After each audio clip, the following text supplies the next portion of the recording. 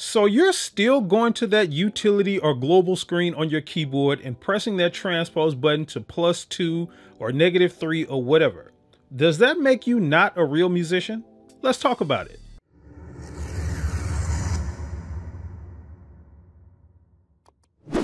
Hey, and welcome to MusiKSpace, where we help working musicians just like you learn how to quickly and easily make a living with your craft. So if you're new here to the channel, hit that subscribe button and the notification bell. That way you'll be notified when new videos are uploaded. So the transpose button is something that has been talked about, you know, among musicians since its advent on keyboards. You know, formerly trained pianists and organists who were burdened with having to play the keys as they were, so to speak, and, you know, had to learn to play in all keys were always frustrated at musicians who could simply go to a keyboard, learn a song in one key, and be able to play that same song in every key with just the press of a button. And playing a song in a different key on a piano is substantially more difficult than it is playing in a different key on, say, another instrument. You know, like guitar and bass players, literally all they have to do in most cases is just shift their position on their frets and they're in a different key. Their fingering doesn't have to change or anything like that. And even horn players like sax players, you know, they do have it a little bit more difficult where they have to play, you know, especially a sax player where they're having to play sharp and flat notes with these, this part of their hand on their horn and stuff like that. But even they have a way out.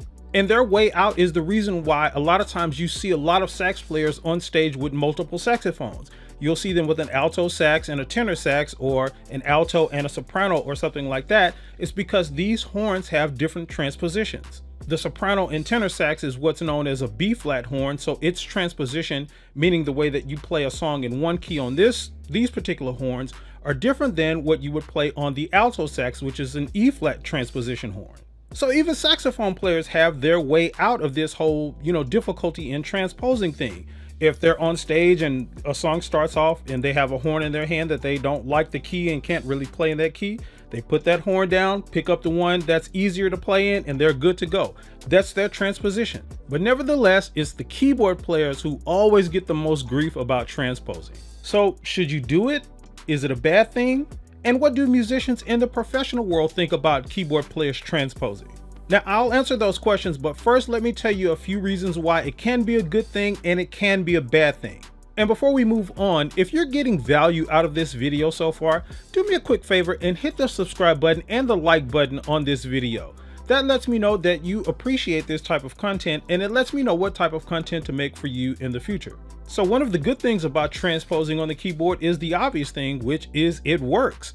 I mean, if you can't play a song in a particular key, you know, you got that out. Just hit that global screen, hit plus one, plus two, or whatever, and you're good to go with playing in whatever key you can play in. And another good thing about transposing is that it allows you to hear what other keys sound like. And this is a common issue for musicians who play by ear, especially musicians who are just starting out. You know, they learn how to play in one key and it's hard for them to hear things in a different key or what it should sound like. So this gives you the ability to at least train your ear a little bit, hit that transpose button, play the song in the key that you know how to play and then when you go back to you know the original setting on the keyboard you at least have you know a reference point in your mind as to how this song is supposed to sound in another key now, some of the bad things about transposing is that transposing can become a crutch. You know, playing in all keys on a piano when you're first starting out and even when you're at a sort of intermediate level is very difficult. And you couple that with the fact that the situations that most of us musicians play in always feels like or seems like there's a competition going on where you have to, you know, meet some standard, you know, be it a gig or even church or whatever you know, you couple that with, you know, the difficulty of that, nobody wants to look bad. So it's really easy to just, man, let me hit that transpose button really quick so I can sound good and play, you know, whatever is being played in the key that I can play it in. And because it's such an easy thing to do over time, it becomes a habit and a hindrance from you learning in other keys. It's easier just, man, let me just hit the transpose button. You can literally do it in a few seconds, whereas learning a song in a different key that you don't know how to play in can take weeks or even months. And this is not a joke. I know musicians and pianists right now who literally can play in one key on the keyboard. And they're killer in that key. They can do all kinds of fancy stuff, but you ask them to go to another key, they're hitting the transpose button because they literally do not know how to play in the other keys. So transposing is something that if you're not careful with can become a crutch and a hindrance to, you know, you learning how to play in other keys on the piano. And another bad thing about transposing is you forget to turn that transpose button off. Now, I'm telling you, there is nothing more embarrassing than being on stage, starting a song off, thinking that you're playing in one key, but you really got that transpose button on and you forgot to turn it off, and you start the song in the wrong key. That is such an embarrassing thing. And you want to know what may even be more frustrating than that? Is somebody getting on their keyboard behind you, you know, in a situation where you have to share the keyboard like a church or something like that. Them getting on their keyboard behind you, not knowing that you had the transpose button engaged to, you know, plus three or plus four or something like that, and them starting off a song and then them playing in the wrong key. That is one of the most frustrating things for us pianists and musicians that happens in these sort of situations. So forgetting to turn that transpose button off is a thing and it's one of the main reasons why you should not be using it. And another reason to not use that transpose button is because you never know what sort of situations you're going to be in. There's a lot of gigs that I play and a lot of things that I get called for where they already have a piano, like a real grand piano set up in there, you know, no transpose button, not a MIDI piano, not one of those things or anything like that. Or even, you know, you have to go play organ at a church or something like that. And unless they have that, organ with the transpose button on. I think it's a Super B3 or something like that. That organ that had the transpose switch on it, which most churches have kind of you know moved away from these days. But in situations like that, you don't have that ability to transpose. And you know, a lot of these situations are situations where people come up, hey, do you know this song? Can you play this song for me? And it's like, yeah, I know the song, but it's, you know, in this key and they ask you to play it in a different key and you're kind of out of luck if you don't know how to play it in those situations because you haven't learned to play all your all of your keys. So unless you have a keyboard that you're carrying around with you all the time and that you can pull out on a whim, you know, this is one of the reasons why using that transpose button can be a bad thing. So the question still remains, should you transpose? Is it a good thing? Is it a bad thing? What do musicians in the professional world think about it? And here is the answer. You ready? Nobody cares. I'm really serious about that. Nobody really cares.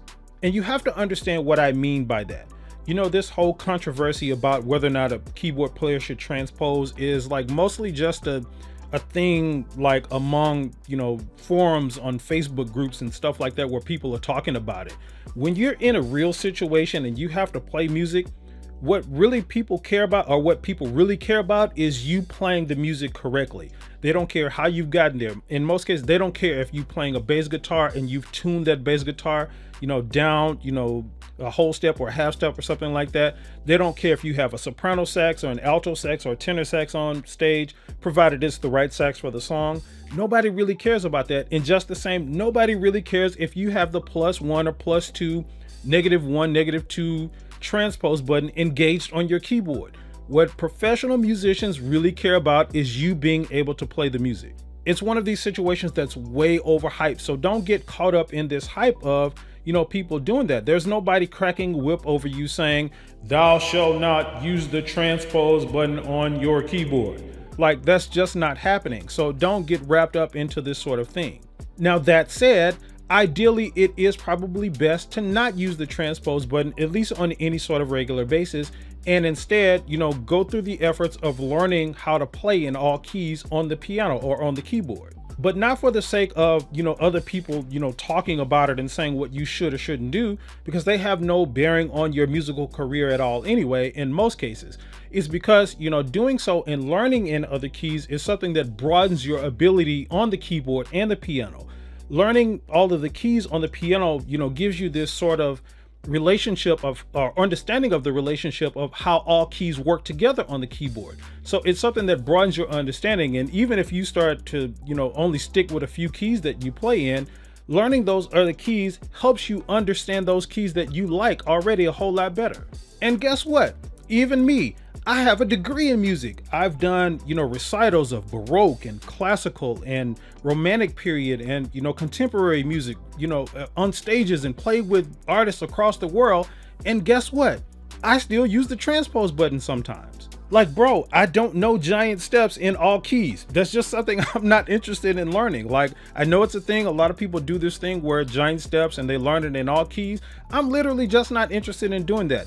I like that song in the key that it's in. Most musicians, when you're on stage, are going to play it that it's in. So for me personally, just my opinion, it seems like a waste of my time to sit there and learn it in all keys.